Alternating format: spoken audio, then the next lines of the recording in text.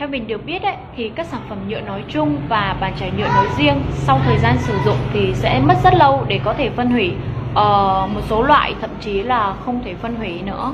À, theo mình nghĩ ấy, thì à, bàn chải nhựa thì là nó có phân hủy nhưng mà khả năng phân hủy của nó thì à, thứ nhất là tốn thời gian cái thứ hai là trong quá trình phân hủy thì à, nó có thể à, gây à, hại đến à, môi trường đó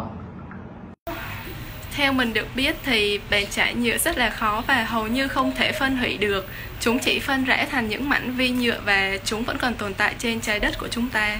Theo mình thì bàn chải nhựa không phân hủy mà nó phân rã thành những hạt nhựa nhỏ li ti gọi là vi nhựa và thường thì thời gian phân hủy nó rất là lâu.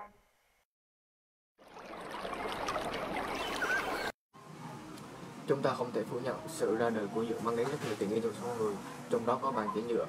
Tuy nhiên, sau quá trình sử dụng, bàn chải nhựa mất rất lâu để phân hủy.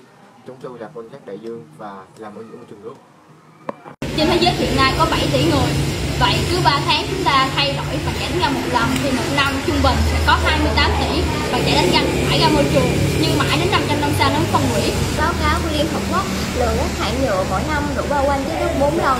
Bất kỳ một vật bằng nhựa nào dù lớn hay nhỏ cũng sẽ góp phần làm cho trái đất bị ngập thở bởi nhựa. Mình nghĩ thì nó có tác động xấu đến môi trường vì à, bàn chải nhựa rất là khó phân rã, nên à, theo hàng năm thì sẽ có vô số bàn chải đã đã sử dụng sẽ được thải ra môi trường.